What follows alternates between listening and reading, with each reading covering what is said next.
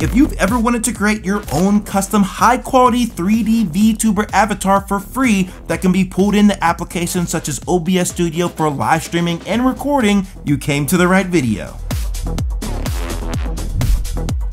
Before I show you guys how this is done, there's a few things that you're gonna need. First is a Windows or Mac computer with your preferred streaming or recording software installed on it. So that could be OBS Studio, Streamlabs Desktop, or even Prism Live Studio. Next, you're gonna need an iPhone with the face detection or face ID features on it. So that's gonna be an iPhone 10 or later. Older iPhones or Android devices currently won't work with this method. Third, to make it easier for your face to be detected, I highly recommend picking up up a phone stand so that you have a designated stabilized place to put your phone. You can get one of these for like 10 bucks on Amazon, but if this doesn't work for you, just find any heavy weighted object like a paperweight or a rock. Any object to put your phone up will work. With that out the way, you're gonna wanna head over to the Apple App Store and search up the Hyper app go ahead and download that. And once it's finished installing, launch it. And then you can sign in with your Google account, Twitter. You can use your Apple sign in, a phone number. I like to go with the Google option myself. You'll need to confirm that you're over the age of 13. After that, you can put in your display name and then you'll be into the app. What you guys are gonna wanna do first is head over to the far right hand side and select that tab. And then you'll be able to select the edit avatar option.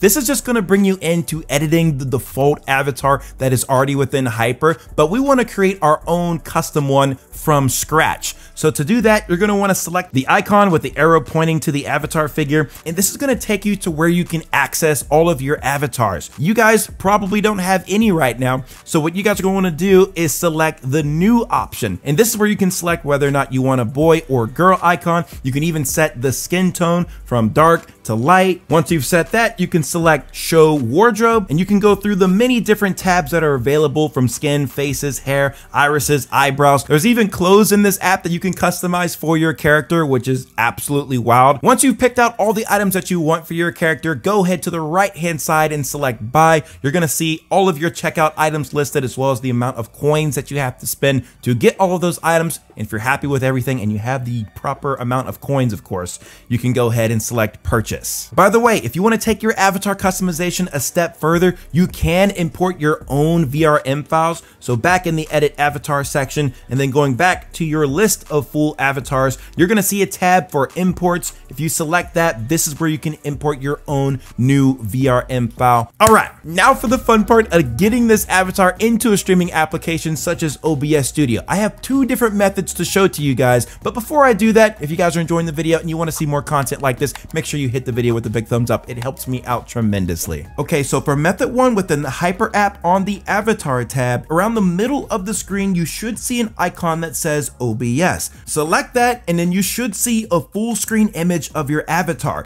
From there, you're gonna wanna select the big red setup OBS button. For the first section that says OBS plugin, if you're on a Mac computer, you're gonna wanna keep this turned off. If you're on a Windows computer, you're gonna wanna turn this on and you're gonna need to download Hyper's free OBS plugin from their website. Now with plugins, they will only work for OBS Studio, so you won't be able to use the other streaming apps in this case with this particular method. It's also important to keep in mind, depending on when you're watching this video, that you're gonna need to be on the correct version of OBS that the Hyper plugin supports. If that all checks out, go ahead and download this plugin by clicking this link here, extract the files, then move those two folders that you just extracted to the OBS Studio folder located within the program files folder on your C drive. Doing this will not overwrite your existing folders. It will just add new files for this plugin. Back Back in the Hyper app, make the chroma key green, rotate the studio orientation to be landscape for a better resolution, and then select save. Now you can plug your iPhone into your computer via the USB cable, and if you don't already have iTunes, go ahead and download that so you can trust your iPhone with your Windows computer.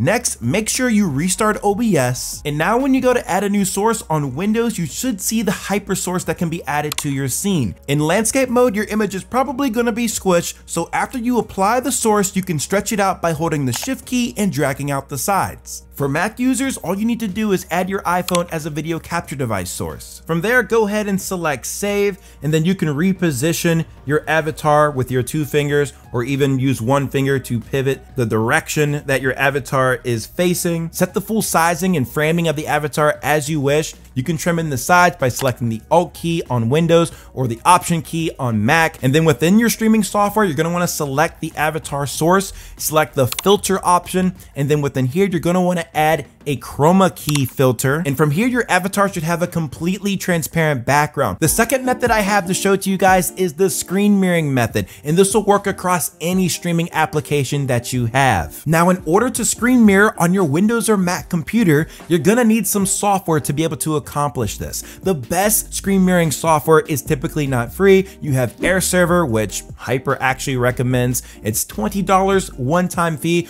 or you can check out the application called DoOne, which is one of my favorites, and it's $10 a year. But if you guys are on the track of not wanting to pay any money, which I totally get, you guys can check out the application called Let's View. It's 100% free, and you'll need to download it on your phone and also your computer. Go over to the QR code connection option on the computer, and then on your phone, if you look to the far right hand side, you're gonna see that scanning icon.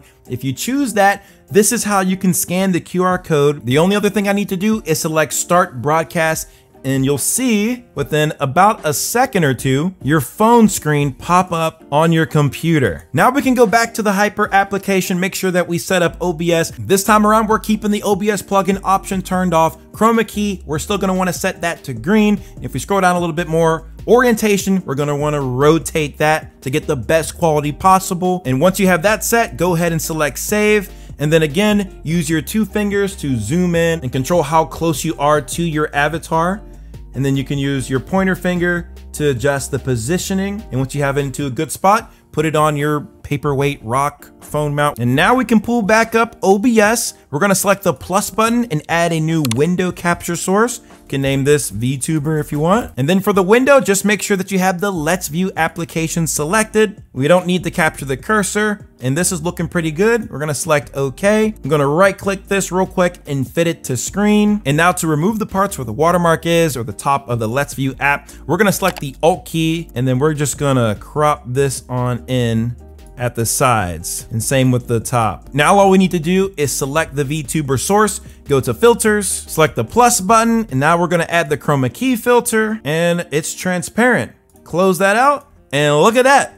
We are looking fresh and ready to VTube. If you're wondering where I got the backgrounds from that I put my VTuber in front of, I put together the prompt of what I was looking for within the image, and then I just used Bing's AI chat features within the creative mode to generate what I wanted. From there, I could download the image and throw it into OBS. Now, of course, you can get even more creative with this by having different types of images or adding your VTuber avatar over top of your gameplay. Have fun with it, make sure you include your microphone, and have fun VTubing.